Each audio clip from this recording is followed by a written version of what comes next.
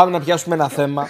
Ε, ώρα της γης 2022, το σύνθημα είναι ευκαιρία να ενώσουμε τις φωνές μας. Για να ενώσουμε τις φωνές μας, μια πρωτοβουλία της WWF, όπως κάθε χρόνο 26 Μαρτίου, 8.30. Τι μας καλύευει. Να κλείσουμε για μία ώρα τα φώτα μας.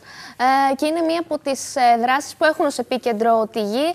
Ε, τα προβλήματα, την κλιματική αλλαγή έχουν έρθει όλα αυτά στο επίκεντρο το τελευταίο χρονικό διάστημα. Αλλά περισσότερα για τη συγκεκριμένη δράση θα μας πει ο κύριος Ιάσονα Κάντας. Είναι υπεύθυνος του τμήματος επικοινωνίας στο WWF Ελλάς, ε, για την ε, μεθαυριανή δράση και για τα μηνύματα βεβαίως που προκύπτουν από αυτή. Την καλησπέρα μας.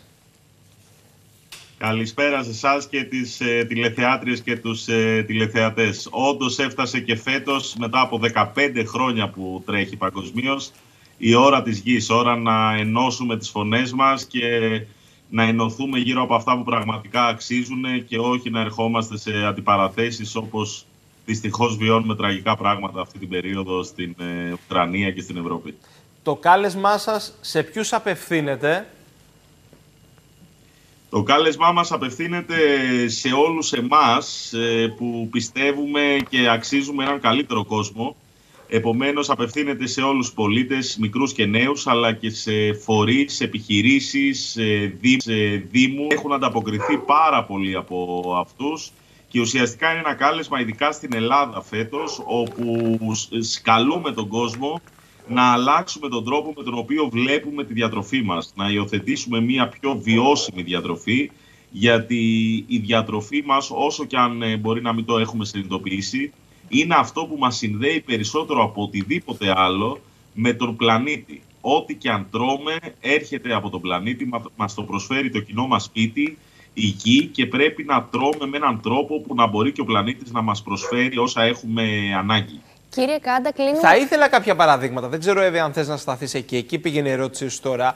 Κάποια παραδείγματα ισορροπημένης διατροφής, με γνώμονα βέβαια να μπορέσει κάποια στιγμή να ισορροπήσει και ο ίδιος ο πλανήτης. Βεβαίως, βεβαίως με τα χαράς.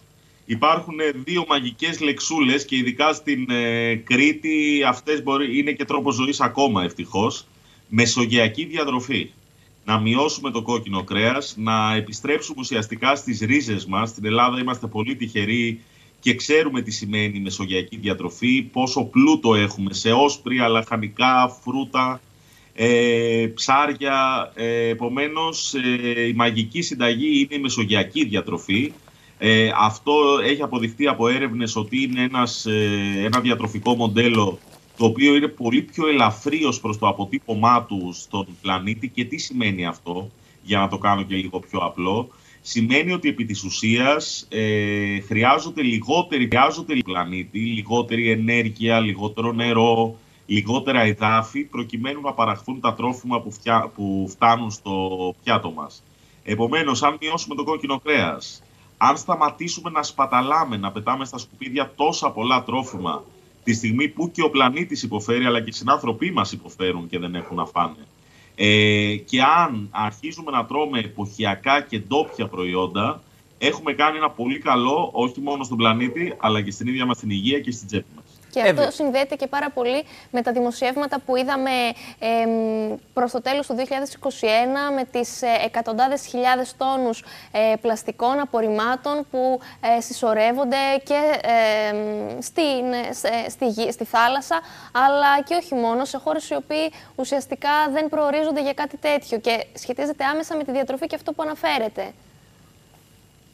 Βεβαίως, ε, όλα είναι αλληλένδετα. Αυτό είναι πάρα πολύ σημαντικό να το καταλάβουμε και κάποια στιγμή πρέπει να συνειδητοποιήσουμε ότι δεν είναι ο, ο άνθρωπος ο οποίος είναι μακριά από το περιβάλλον, δεν είναι απέναντί μας το περιβάλλον. Είμαστε κομμάτι της φύσης, είμαστε ένας κρίκος αλυσίδας και αν σπάσουμε με τη συμπεριφορά μας αυτή την αλυσίδα, οι πρώτοι που θα έχουμε πρόβλημα είμαστε εμείς, ο δικός μας τρόπος ζωής, η δική μας καθημερινότητα, τα όνειρα των παιδιών μας. Αυτό πρέπει να συνειδητοποιήσουμε, ότι είμαστε όλοι ένα.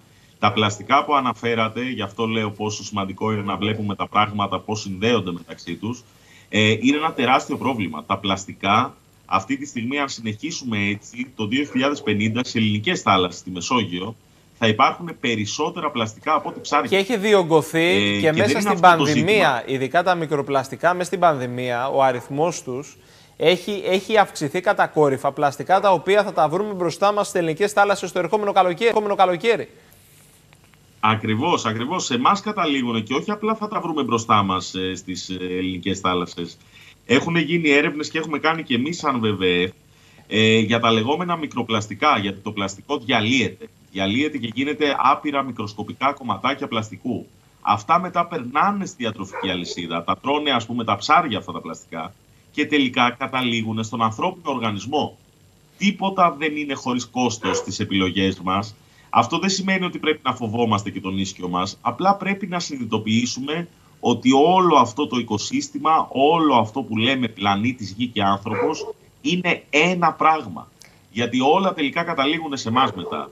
Και ακόμη και αν δεν το κάνουμε για την αξία και την, το μεγαλείο της φύσης, γιατί η φύση έχει αυταξία, είναι μεγαλειώδης, ακόμη και αν δεν πιστεύει κανείς αυτό, αν μη τι άλλο πρέπει να καταλάβει ότι οφείλει να προστατέψει τον εαυτό του.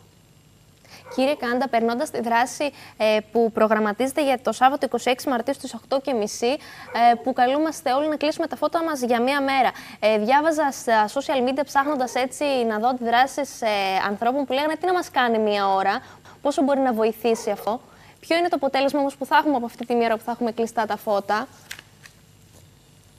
Ναι, ξέρετε, αυτό είναι ένα ερώτημα που δεν είναι, είναι ψευδοερώτημα, αλλά πλανάται επί 15 χρόνια. Ε, στην Ελλάδα, Ελλάδα πρώτο ήρθε η ώρα της γης το 9, επομένως επί 13 χρόνια.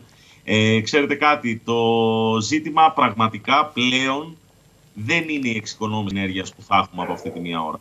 Το ζήτημα είναι ότι ολόκληρος ο πλανήτης, περισσότερες από 120-130 χώρες, εκατομμύρια πολίτες σε όλο τον κόσμο, χιλιάδες πολίτες και στην Ελλάδα, για μία ώρα στέλνουμε ένα μήνυμα, ένα μήνυμα αλληλεγγύης, ένα μήνυμα ενότητας και ένα μήνυμα ότι θέλουμε να προστατέψουμε τον πλανήτη μας, το κοινό μας σπίτι, ότι θέλουμε να παλέψουμε για τον κόσμο μας.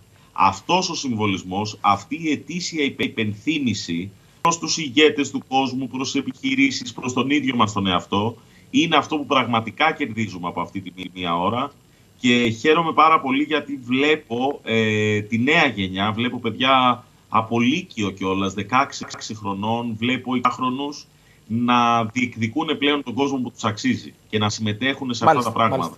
Αυτό για μένα είναι το σημαντικότερο.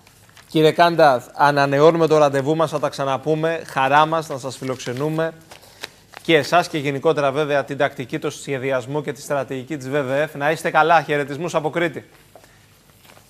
Και δική μου χαρά, χαιρετισμούς στην Κρήτη και σας ευχαριστούμε πολύ. Σας ευχαριστούμε πολύ. Συμμετέχουμε λοιπόν όλοι στην ώρα της γης, 8.30 το απόγευμα του Σαββάτου, προκειμένου να στείλουμε ένα μήνυμα. Ένα χειρό μήνυμα.